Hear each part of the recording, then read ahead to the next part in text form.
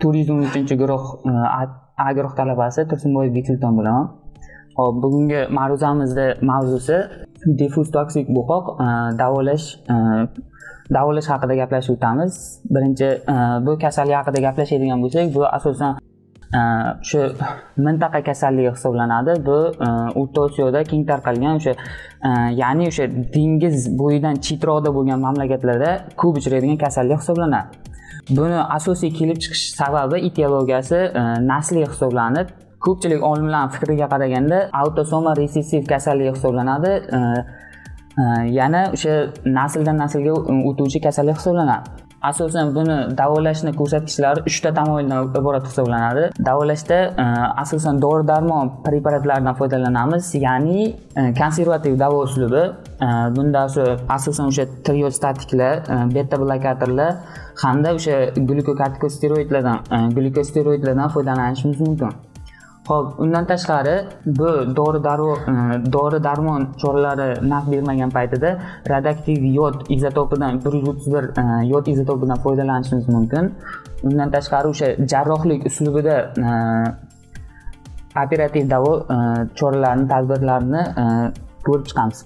Hop birinchi bo'lib konservativ davo uslubida asosan o'sha mikrodozalarda yodlarni e, yod moddasini bemorlarga berib boramiz. Ya'ni o'sha lyugol eritmasidan yoki dengiz karamidan foydalanishimiz mumkin.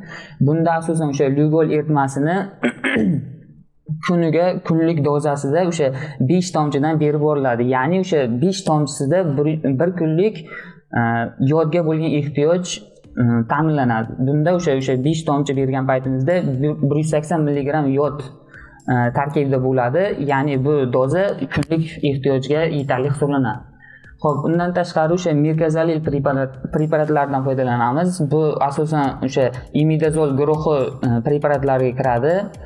E, imidazol guruhi preparatlaridan undan tashqari e, karbimazol mitimazol e, dori preparatlarini keltirib o'tishimiz mumkin. Bularni asosiy e, ta'sir mexanizmi e, shundan iboratki ular peroksidaza ya'ni o'sha triod trionin va tetrayod trionin hosil bo'lishda ishtirok etuvchi peroksidaza fermentini aktivligini pasaytirib o'sha t uch t to'rt gormonlarini hosil bo'lishini kamaytirib beradi. Undan tashqari trioninni yod trionin ya'ni o'sha o'sha aminokislotalarni ham e, trionindan triozinga o'tishini ham bloklovchi ta'sir ko'rsatadi. Mm, Merkazalil dori preparatlar. Undan tashqari e, o'sha triostatiklar bilan birga qo'llanuvchi preparatlardan biri bu beta blokatorlar beta adrena blokatorlarni keltirib o'tishimiz mumkin. Э, ulardan atinolol va bisaprolollarni keltirib o'tishimiz mumkin. Ular haqida keyinroq e, gaplashamiz. Yurak glikozidlari bular ham asosan o'sha beta blokatorlarga o'xshab e, kasallikda simptomlarni yuzaga chiqishini e, bloklab turadi. Ya'ni o'sha yurakni tez urishi yoki o'sha e, ko'p harakatchanlik nerv qo'zg'aluvchanligini kamaytirish maqsadida beta blokator hamda o'sha e, yurak glikozidlari berib boriladi undan tashqari o'sha yana dori preparatlaridan e, metiluratsil ya'ni o'sha teoratsil guruhi preparatlarini keltirib o'tishimiz mumkin. Ular asosan o'sha t uch t to'rt gormonini markazdan chetda E, paydo bo'lishini to'xtatadi ya'ni o'sha qonda t uch e, t to'rt gormonlarini t uch t to'rt gormonlarini markazdan chetda bo'lishini bloklab turadi. Undan tashqari detoksikatsion muolajalar hamda o'sha diurezni kuchaytiruvchi preparatlar e, preparatlar berib boriladi. E, undan tashqari o'sha undan fizioterapevtik muolajalarni olib boramiz. Elektr moslama yordamida uyqu hamda galvanik yoqa qo'yish giperbarik e, oksigenatsiya muolajalarini berib boramiz. Operatsiya turlari haqida gaplashadigan bo'lsak bunda operativ davrda nikolayev usuli eng keng qo'llaniladigan usul hisoblanadi. Xo'p, bu usulda subtotal va e, subfacial e, amaliyoti bajariladi. Bunda e, har ikkala qalqon suv bezni ikki tarafidan 4 4 e, yoki 8 grammgacha qoldirilib e, olib tashlanadi. O'sha qalqon suv bezni ektomiyasi bajariladi.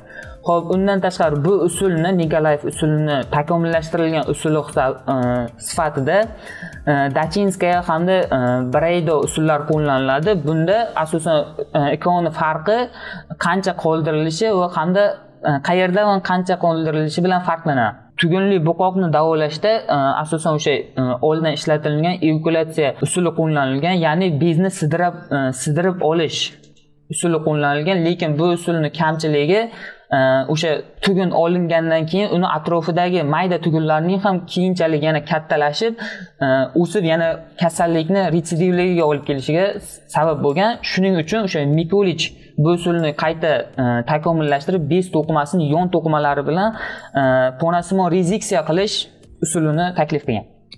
Operatsiyalar geni yoki tiroidektomiya yarim qismini olib tashlash yoki to'liq olib tashlash usullar operatsiyadan keyingi asoratlari haqida gaplashadigan bo'lsak bunda intraoperatsion hamda post operatsion post operatsion asoratlar kuzatilishi mumkin. Intraoperatsion e, asoratlarda bu operatsiya ketayotgan paytida e, qon ketishi e, ya'ni o'sha qon yonida qon tomirlariga boy bo'lganligi uchun qon ketishi kuzatilishi mumkin. Qaytuvchi nervlar zararlanishi ya'ni o'sha nerv tomirlarga ham nervlarga ham boy bo'lganligi uchun yerda e, shu asorat kuzatilishi mumkin. Havo emboliyasi e, para para qalqonsimon biznes shikastlanishi ya'ni o'sha qalqon oldi biznes shikastlanishi o'tkir asfeksiya e, undan tashqari post operatsion e, asoratlariga keladigan bo'lsak bunda o'sha tritoksik kriz ya'ni o'sha bez olib tashlangandan so'ng o'sha trioksin gormonini yo'q bo'lishi desak bo'ladi.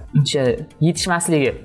Shuning uchun bu e, tritoksik krizni oldini olish maqsadida operatsiyadan so'ng bir butun olti milligram taqsim kilogramm o'sha bemorda kilogrammga hisoblanib e, trioksin berib boriladi